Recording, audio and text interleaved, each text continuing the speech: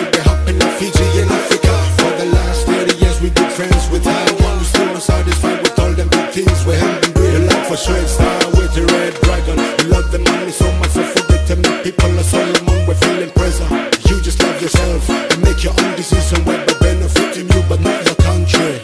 Ah, Solomon PM, head to baby, plan too much, yeah. Leaders bang you me long country. No some make him anything